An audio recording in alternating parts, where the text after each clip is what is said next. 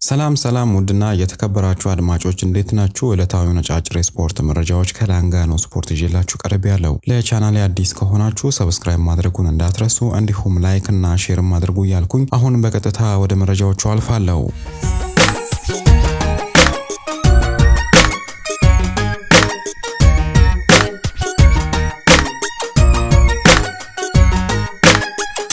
ከአርሰናል ጋር በተያያዘ እየተወሩ ያሉትን መረጃዎች በማቅረብ የሚጀምርላችሁ ይሆናል። መጀመሪያ ላይ የኤሚል ስሚዝሮን ጉዳይ እናገኛለን። የኤሚል ስሚዝሮ ስም አሁን ዳግመኛ ከአስቶን ቪላ ጋር እየተነሳ ይገኛል። አስቶን ቪላዎችም ተጫዋቹን በቀጣዩ የጥር የዝውውር መስኮት ለማስፈረም ሙከራ ሊያደርጉ እንደሚችሉ ነው እየተገለጸ የሚገኘው። ተጫዋቹም አሁን ላይ ባለው ሁኔታ ከአስቶን ቪላ የሚቀርብለትን ጥያቄ በደስታ ለመቀበል መዘጋጀቱን ነው ዲን ጆንስ ለጊሚ ስፖርት በሰጠው ቃለ መጠይቅ ያስታወቀው። ተጫዋቹ በአርሰናል በቂ የመሰለ ዕድል እየተሰጠው ስለማይገኝ ወደ አስቶን ቪላ የማምራቱን ነገር በደስታ ይቀበለዋል ሲል ነው ዲን ጆንስ የተናገረው። አሁን ላይ ባለው ሁኔታ ኤሚል ስሚዝ ሮ በጉዳት ከሜዳ ርቆ ይገኛል። ነገር ግን አስቶን ቪላዎች ተጫዋቹን ለማስፈረም ፍላጎት ማሳየታቸው ነው እየተገለጸ የሚገኘው። አርሰናሎች ተጫዋቹን የማቆየት ፍላጎት አላቸው። ነገር ግን ተጫዋቹ በበቂ ሁኔታ ለዋናው ቡድን ለመሰለፍ በማሰብ ወደ አስቶን ቪላ ሊያመራ እንደሚችል ነው እየተገለጸ የሚገኘው። ተጫዋቹ በፕሪሚየር ሊጉ አራት ጨዋታዎች ላይ ነው ተቀይሮ በመግባት መጫወት የቻለው። በአጠቃላይ በሻምፒዮንስ ሊጉም በሁለት ጨዋታዎች ላይ ተቀይሮ መግባት ችሏል። በካርሊን ካፕ ላይ ነው በአንድ ጨዋታ ላይ ተሰልፎ መጫወት የቻለው። ከዛ በተረፈ ግን ተጫዋቹ እየተቀየረ ነው ወደ ሜዳ በመግባት ላይ የሚገኘው። በዚህም መሰረት ከአስቶን ቪላ የሚቀርብለትን ጥያቄ በደስታ ሊቀበል እንደሚችል ነው የተገለጸው። እዛው አርሰናል ጋር ስንቆይ አርሰናሎች ቶማስ ፓርቲን እንደሚሸጡት በስፋት እየተገለጸ ይገኛል። ተጫዋቹ በጥር የዝውውር መስኮት ወደ ጁቬንቱስ ሊያመራ እንደሚችልም ነው እየተገለጸ የሚገኘው። ጁቬንቱሶች ተጫዋቹን በቀጣይ የጥር የዝውውር መስኮት ለማስፈረም ሙከራ ያደርጋሉ ተብሎ ይጠበቃል። ከዚሁ ጋር በተያያዘ ደግሞ አርሰናሎች ተጫዋቹን ለመተካት ሙከራ እንደሚያደርጉ ነው የተገለጸው። በርካታ ተጫዋቾችም ስማቸው ከአርሰናል ጋር በመነሳት ላይ ይገኛል። አሁን ላይ ለፉልሃም እየተጫወተ የሚገኘው የጆዋዎ ፓሊና ስም ነው ከአርሰናል ጋር እየተነሳ የሚገኘው አርሰናሎችም ጆዋዎ ፓሊናን በቀጣይ የዝውውር መስኮት ለማስፈረም ሙከራ ያደርጋሉ። ካልሆነ ግን በክረምቱ ተጫዋቹን ወደ ክለባቸው ለማምጣት እንደሚሞክሩ ነው የተገለጸው። ጆዋዎ ፓሊና በተጠናቀቀው የክረምት የዝውውር መስኮት ወደ ባየር ሙኒክ ለመዘዋወር ተቃርቦ ነበረ። ነገር ግን ፉልሃሞች የተጫዋቹን ተተኪ ባለማስፈረማቸው ዝውውሩ ሳይሳካ ቀርቷል። በቀጣይ ባየር ሙኒኮች እሱን ለማስፈረም ሙከራ ሊያደርጉ እንደሚችሉ እየተገለጸ ይገኛል። አንዳንድ መረጃዎች ደግሞ ተጫዋቹን ለማስፈረም የነበራቸውን ፍላጎት ማቋረጣቸውንም ነው እየገለጹ የሚገኙት። ከዚሁ ጋር በተያያዘ ደግሞ አሁን የአርሰናል ስም ከጆዋዎ ፓሊና ጋር ተነስቷል። በጥር የዝውውር መስኮት ካልሆነ በጥር ተጫዋቹን ለማስፈረም ሙከራ እንደሚያደርጉ ነው የተገለጸው። በፕሪሚየር ሊጉ 11 ጨዋታዎች ላይ ተሰልፎ ተጫውቶ ሁለት ጎሎችን ማስቆጠር ችሏል። ተጫዋቹ የተከላካይ አማካይ ተጫዋች ነው። አንዷን ጎል አርሰናል ላይ ነው ያስቆጠረው። ይህንን ተጫዋች በቀጣይ የዝውውር መስኮት ለማስፈረም አርሰናሎች ሙከራ እንደሚያደርጉ ነው የተገለጸው። ዩሪየን ቲምበር ለአርሰናል ደጋፊዎች መልካም የሚባል መረጃን አቃብሏል። ተጫዋቹ በመጀመሪያው ቀን የፕሪሚየር ሊግ ጨዋታ ተጎድቶ ከሜዳ ከራቀ በኋላ አብዛኛውን የውድድር ዓመት ከሜዳ ርቆ እንደሚያሳልፍ ሲገለጽ ነበረ። አንዳንዶችም ተጫዋቹ የውድድር ዓመቱን በሙሉ ወደ ሜዳ ላይ መለስ ይችላል የሚሉ መረጃዎችንም ነበር ይዘው ሲወጡ የነበሩት። ተጫዋቹ ግን በትናንትና ዕለት በጥሩ ሁኔታ እያገገመ እንደሚገኝ ገልጿል።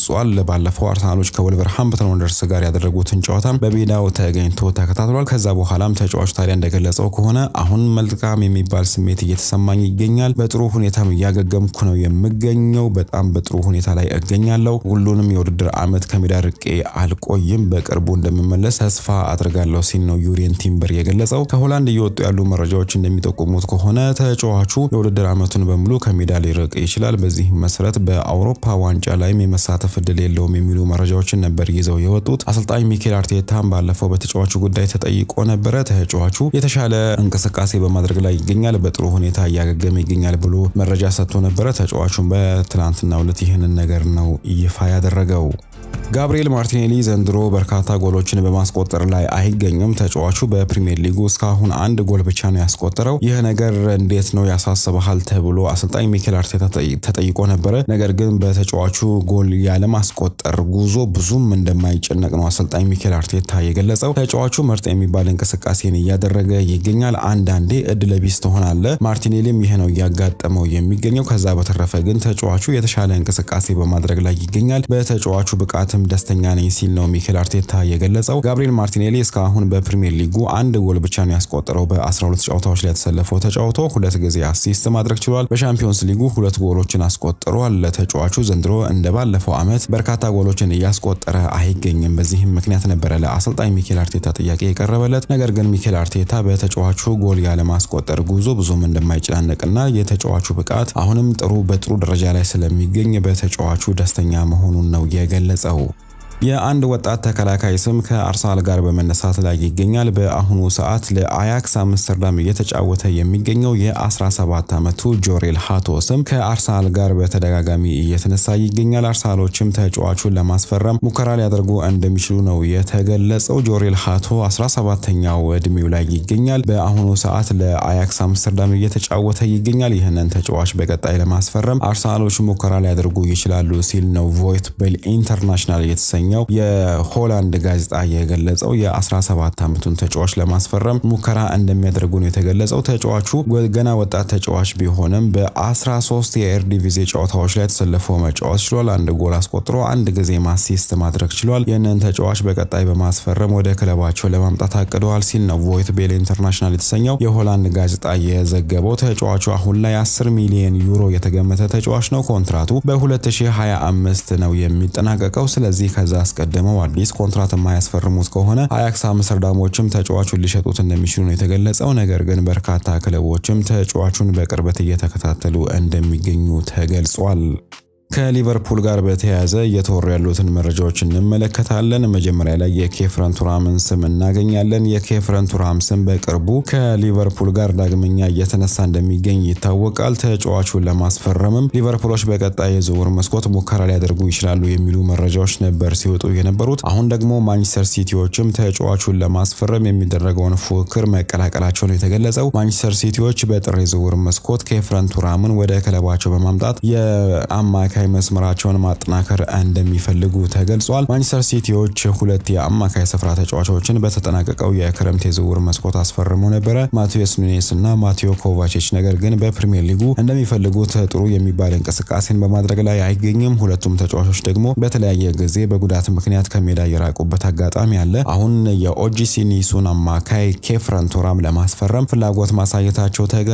ሊቨርፑልን በመፎካከርም በጥር የዝውውር መስኮት ተጫዋቹን ወደ ኤቲሃድ ስቴዲየም ለማምጣት ማቀዳቸው ነው የተገለጸው በተጠናቀቀው የክረምት የዝውውር መስኮት ማንቸስተር ሲቲዎች ኢልኬ ጉንዶጋንን በክለባቸው ለማቆየት እየፈለጉ ተጫዋቹ ወደ ባርሴሎና ለማምራት ፍላጎት ስለነበረው ሳይሳካላቸው ቀርቷል። ከዛ በኋላ ደግሞ ልክ የውድድር ዓመቱ እንደተጀመረ ደግሞ ኬቨን ዴብሩይኔ በረጅም ጉዳት ምክንያት ከሜዳ ርቆ ይገኛል። ይህንን ተከትሎ የተለያዩ የአማካይ ስፍራ ተጫዋቾችን አስፈርመው ነበረ። ነገር ግን አሁንም ሌሎች የአማካይ ስፍራ ተጫዋቾችን በማስፈረም የመሀል ክፍላቸውን ማጠናከር እንደሚፈልጉ ነው የተገለጸው እና የ22 ዓመቱን ፈረንሳዊ ኬፍረን ቱራም ወደ ክለባቸው ለማምጣት ማቀዳቸው ነው የተገለጸው ተጫዋቹ ኮንትራቱ በ2025 ነው የሚጠናቀቀው። ኦጂሲ ኒሶችም ተጫዋቹን ለመሸጥ ፈቃደኛ መሆናቸው ተገልጿል። አሁን ላይ ባለው ሁኔታ ተጫዋቹ 40 ሚሊዮን ዩሮ የተገመተ ተጫዋች ነው። የጆኤል ማቲፕ ጉዳት አሳሳቢ ሊሆን እንደሚችል አሰልጣኝ የርገን ክሎፕ ጠቁመዋል። በትናንትናው ዕለት ከፉላሃም ጋር በተደረገው ጨዋታ በጉዳት ምክንያት ተቀይሮ የወጣው ጆኤል ማቲፕ ረዘም ላለ ጊዜ ከሜዳ ሊርቅ እንደሚችል ነው አሰልጣኝ የርገን ክሎፕ የገለጹት። ተጫዋቹ ለረጅም ጊዜ ከሜዳ ሊርቅ ይችላል ሲሉ ገልጸዋል። የ32 ዓመቱ ጆኤል ማቲፕ በተደጋጋሚ ጉዳት እያጋጠመው ይገኛል። አሁንም በጉዳት ምክንያት ለተወሰነ ጊዜ ከሜዳ ሊርቅ እንደሚችል ነው አሰልጣኝ የርገን ክሎፕ የገለጹት።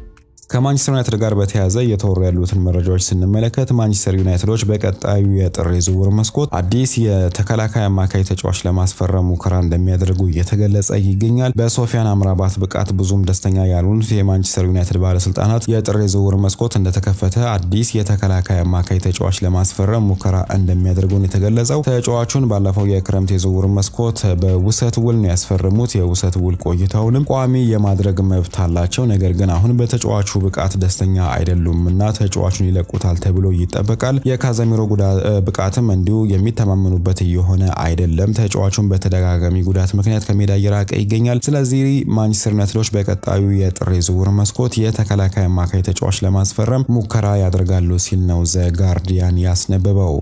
እዛው ማንቸስተር ዩናይትድ ጋር ስንቆይ ዩናይትዶች በጥር የዝውውር መስኮት የኤቨርተኑን ተከላካይ ጃረድ ብራንዝዌት ለማስፈረም ሙከራ እንደሚያደርጉ ሲገለጽ ነበረ። እንደ ቶክ ስፖርት ዘገባ ከሆነ ግን ማንቸስተር ዩናይትዶች አዲስ ተፎካካሪ እንዳጋጠማቸው ነው የተገለጸው። ቶተንሃም ሆትስፐሮችም ጃራድ ብራንዝዌትን ለማስፈረም የሚደረገውን ፉክክር ለመቀላቀል መወሰናቸው ተገልጿል።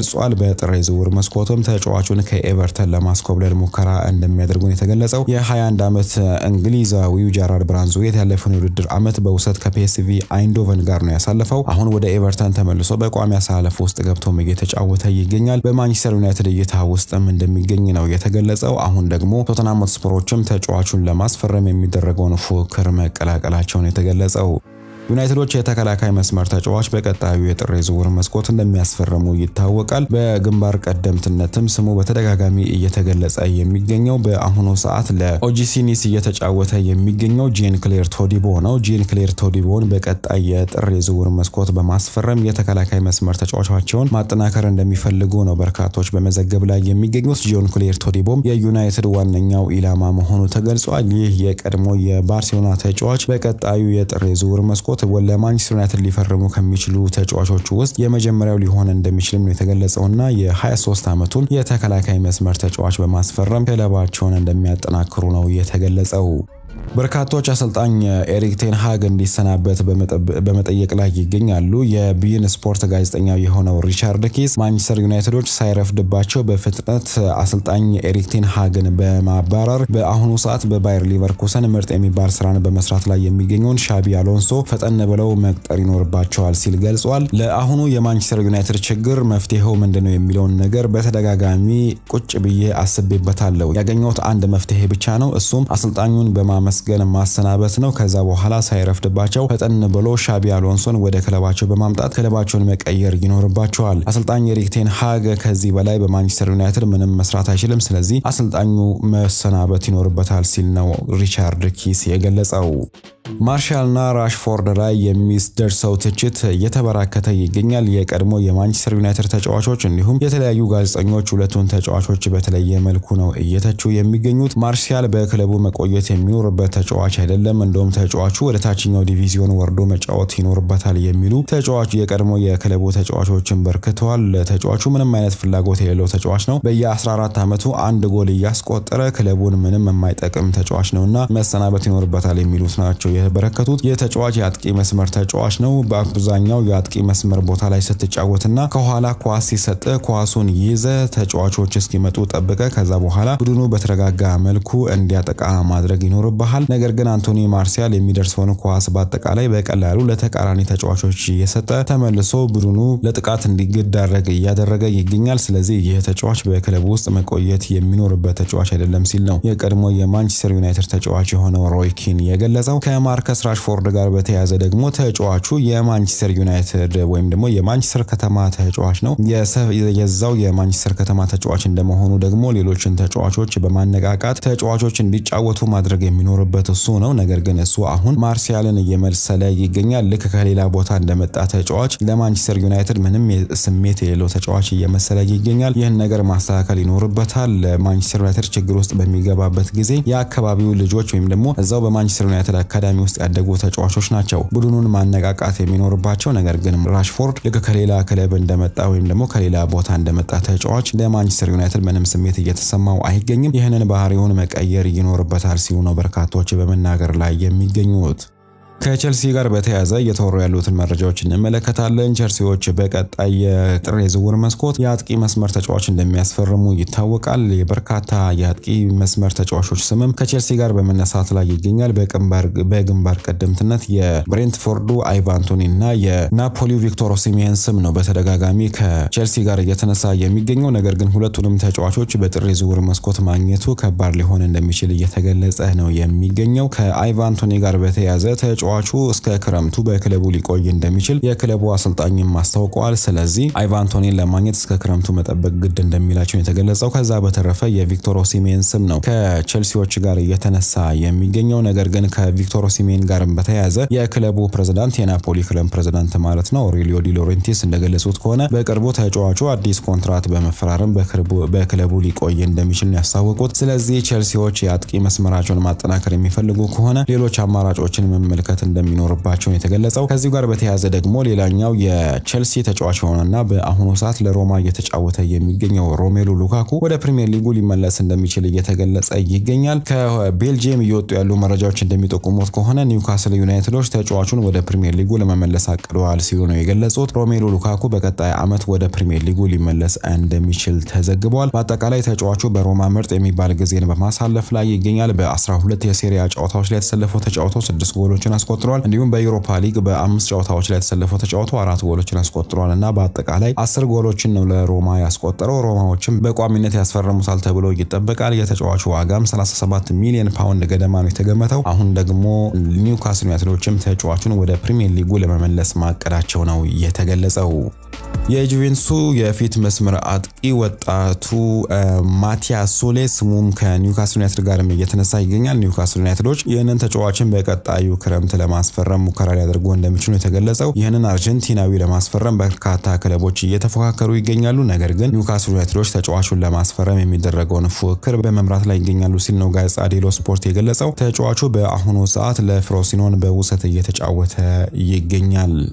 ባርሴሎናዎች በቋሚነት ጆዋው ፌሊክስን ማስፈረም የሚያቅታቸው ከሆነ ወደ ክለቡ ይመለሳል ሲል የክለቡ ፕሬዝዳንት ኤንሪኬ ሴሬዞ ተናግሯል። ኤንሪኬ ሴሬዞ እንደገለጸው ከሆነ ጆዋው ፌሊክስ በቋሚነት ለባርሴሎና ሊፈርም ይችላል። ነገር ግን ባርሴሎናዎች አቅሙ ኖሯቸው ተጫዋቹን የማያስፈርሙት ከሆነ ወደ ክለባችን ይመለሳል ሲል ነው የገለጸው። ጆዋው ፌሊክስ በትናንትናው ዕለት በተደረገው የባርሴሎና የአትሌቲኮ ማድሪድ ጨዋታ ላይም ብቸኛዋን የባርሴሎና ጎል በማስቆጠር የቀድሞ ክለቡን ወይም ደግሞ በአሁኑ ሰዓትም ክለቡ ነው አትሌቲኮ ማድሪድ ላይ አንድ ጎል ማስቆጠር ችሏል። ተጫዋቹ በቋሚነት ለባርሴሎና የማይፈርም ከሆነ ግን ወደ አትሌቲኮ ማድሪድ ሊመለስ እንደሚችል ነው የተገለጸው። ተጫዋቹ በተደጋጋሚ እንደሚገልጸው ከሆነ ደግሞ እዛው በባርሴሎና መቆየት ይፈልጋል። በባርሴሎና ለረጅም ዓመታት ቆይቶ መጫወት እንደሚፈልግ ነው ያስታወቀው።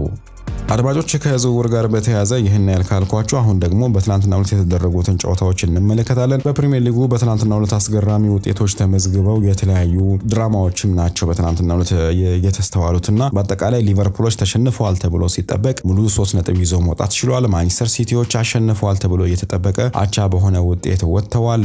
ቸልሲዎች ደግሞ በጎድሎ ተጫውተው ሙሉ ሶስት ነጥብን ከብራይተን ጋር ይዘው መውጣት ችሏል። በትናንትናው ዕለት በተደረጉ ጨዋታዎች 11 ሰዓት ላይ በርካታ ጨዋታዎች ናቸው የተደረጉት።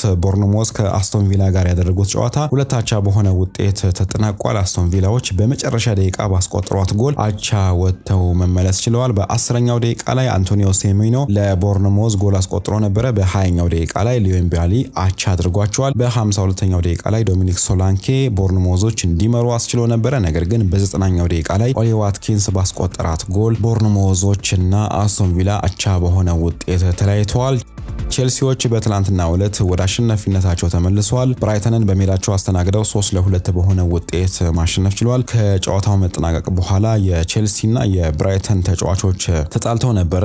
ከዛ በተረፈ ግን ቼልሲዎች ሙሉ ሶስት ነጥብ ይዘው መውጣት ችለዋል። ኤንዞ ፈርናንዴዝ ሁለት ጎሎችን አስቆጥሯል። በ17ኛው እና በ65ኛው ደቂቃ ላይ በፍጹም ቅጣት ምት ያስቆጠረ ሲሆን በ21ኛው ደቂቃ ላይ ባለፈው የውድድር ዓመት በውሰት ከብራይተን ጋር ያሳለፈው ሌቪ ኮልዊል ነው ለቼልሲ ጎሎቹን ያስቆጠሩት እና በብራይተን በኩል ፋኩንዶ ቡኦናኖቴ በ43ኛው ደቂቃ ላይ አንድ ጎል ያስቆጠረ ሲሆን በጭማሪው ሰዓት ጆዋዎ ፔድሮ ሁለተኛውን ጎል አስቆጥሯል። በ45ኛው ደቂቃ ላይ ኮነር ጋላገር በሁለት ቢጫ ካርድ በቀይ ካርድ ከሜዳ ተሰናብቷል። በዚህም ምክንያት በቀጣይ በማንቸስተር ዩናይትድ ላይ ከማንቸስተር ዩናይትድ ጋር በሚደረገው ጨዋታ ላይ አይሳተፍም። እንደ አጠቃላይ ግን ቼልሲዎች ሙሉ ሶስት ነጥብ ይዘው መውጣት ችለዋል።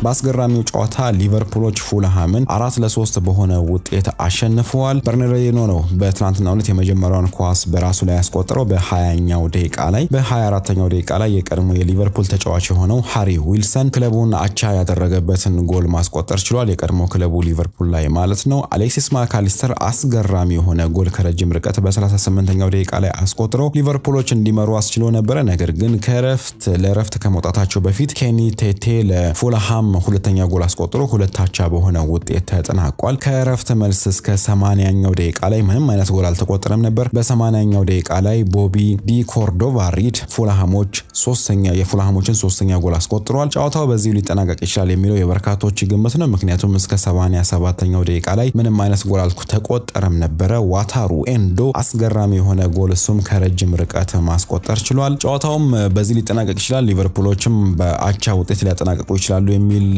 ግምት ነበረ። ነገር ግን ሊቨርፑሎች እንደውም ብሶባቸው በ88ኛው ደቂቃ ላይ ከአንድ ደቂቃ በኋላ ልክ ኳሱ እንደተቀባበሉ ፉልሃሞች ሶስት አራተኛውን ጎል በትሬንት አሌክዛንደር አርኖልድ አማካኝነት አስቆጥረው አራት ለሶስት በሆነ ውጤት ማሸነፍ ችለዋል። በዚህም ሁለተኛ ደረጃን ሁለተኛ ደረጃን ለብቻ መያዝ ችለዋል። ማንቸስተር ሲቲዎች ትናንትና ነጥብ መጣላቸውን ተከትሎ ማለት ነው። በትናንትና ሁለት የተቆጠሩት ጎሎች በሙሉ አስገራሚ ጎሎች ናቸው።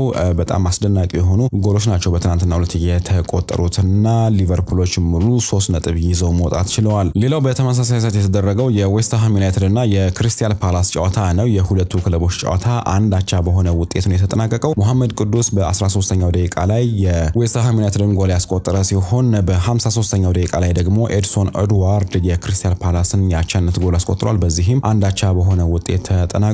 ድራማዊ የሆነ ክስተት የተከሰተበት ሌላኛው ጨዋታ ደግሞ ምሽት ላይ የተደረገው የማንቸስተር ሲቲ እና የቶተናም ሆትስፐር ጨዋታ ነው።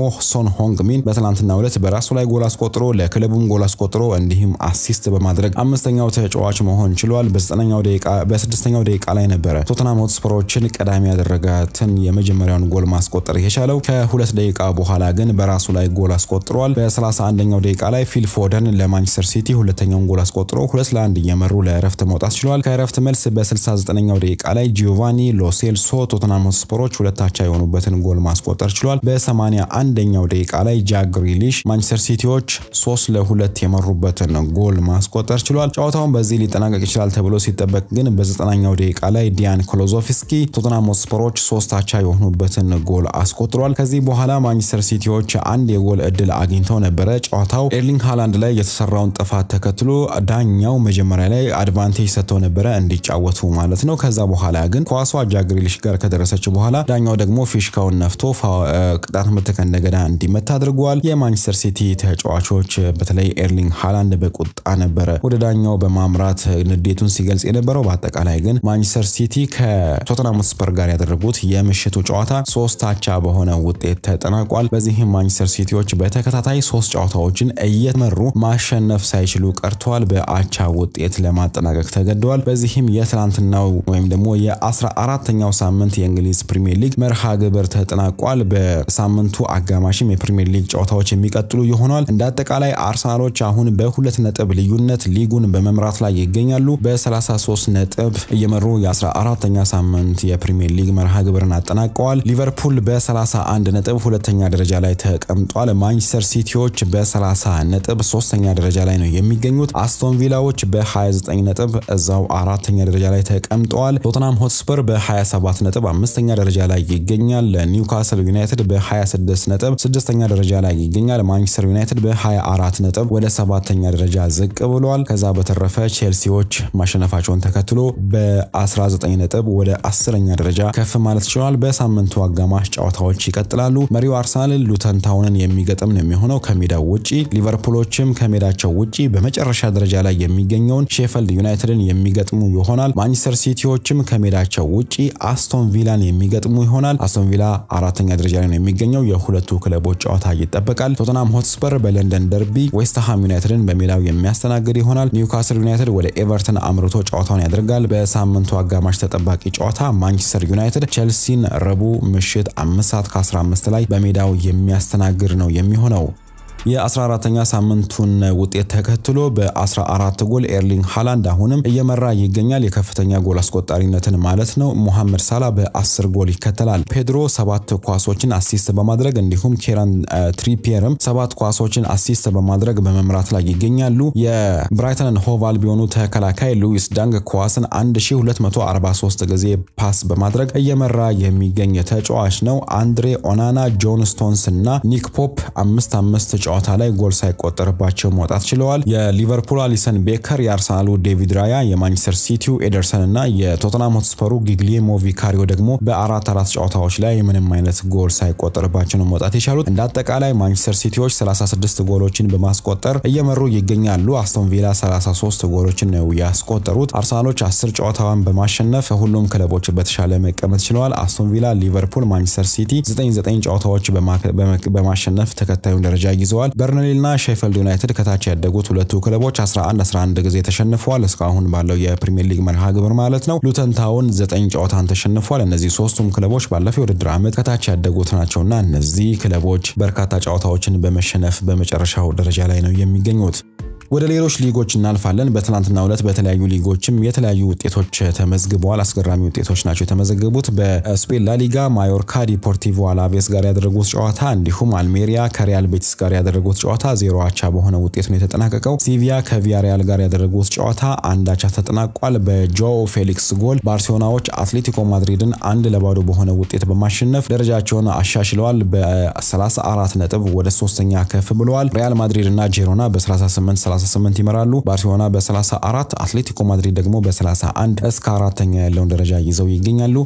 በጣሊያን ሴሪአ ሊቼ ከቦሎኛ አንድ አቻ ተለያይተዋል። ፊዮረንቲና ሳለርኒታንን ሶስት ለባዶ አሸንፏል። ኡዲኒዜ ከቬሮና ሶስት አቻ የተለያዩ ሲሆን ሮማዎች ሳሱሎን ሁለት ለአንድ በሆነ ውጤት ማሸነፍ ችለዋል። ከዛ በተረፈ በተጠባቂው የምሽት ጨዋታ ኢንተር ሚላኖች ናፖሊን ሶስት ለባዶ በሆነ ውጤት በማሸነፍ መሪነታቸውን አጠናክረው ቀጥለዋል።